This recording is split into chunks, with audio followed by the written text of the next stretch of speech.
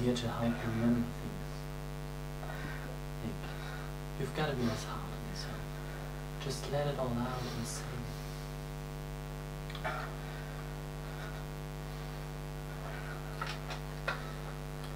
We all care a lot about you, We all want you to get better. All of us.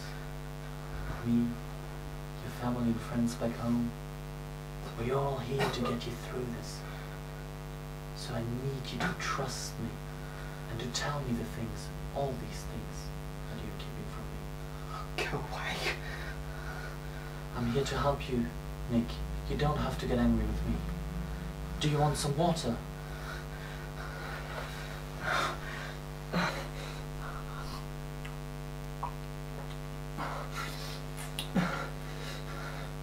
Right. Well, let's talk about something else. Tell me about your childhood. Tell me about when you were a kid. What were you like? Did you have secrets? Secret friends, secret worlds? Did you like knowing things other people didn't make? Make you special? You don't have to keep, keep secrets from me. Not like a good patient. What were you afraid of, Nick, when you were small? Was it being found out, Nick? It doesn't matter. You're all grown up, and we're friends. There are no secrets between friends. Tell me what's bothering you. You want to let it out, don't you? Go away. I hate you. I hate all of you. I can't Nick. be a good soldier. Nick. Zero three six. Zero Calm down.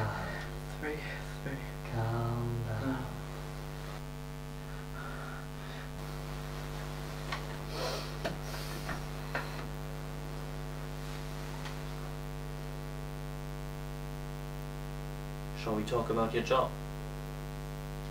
About the time since you stopped being childish and started taking responsibility? When you joined the army and started taking orders? Orders, Nick. Remember those? Help me to help you, Nick. There is no secret here. Just tell me why you are here. Orders were clear. Corporal Nicholas Stevens.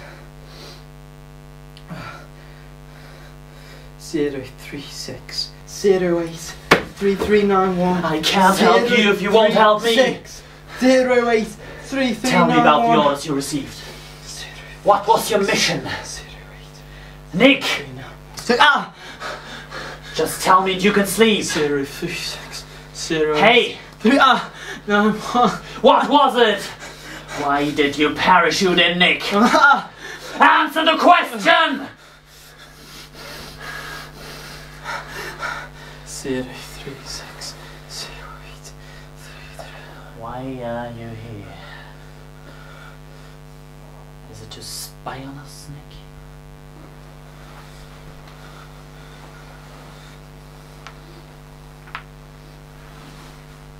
You know what we will do if you don't talk, don't you?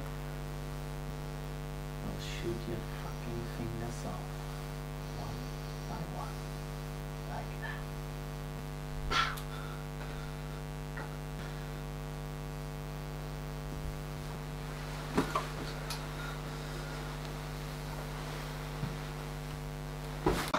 Ah. Ah.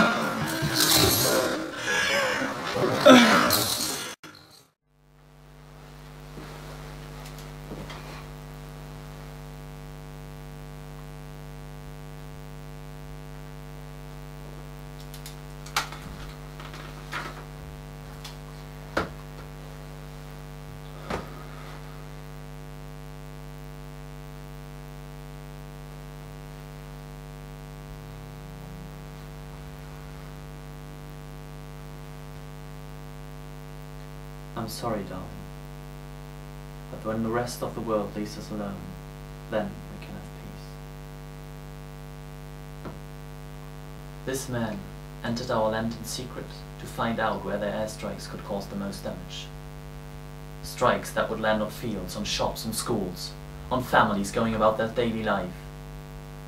All because the other countries want our oil, our lives, our right to govern ourselves. Well, we won't give in. No matter how many mines this man has laid, or missiles he has aimed at us, or tanks poised to invade, we will never give in, for we are fighting for our families, our loved ones, our lives, and our fight is just, and the world will be defied.